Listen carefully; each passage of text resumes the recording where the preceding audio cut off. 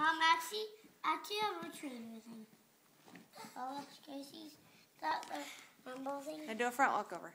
Oh, yeah, I don't Front walkover? Yep. I have to. I'll try. But if I don't get it, uh-huh. just don't record me.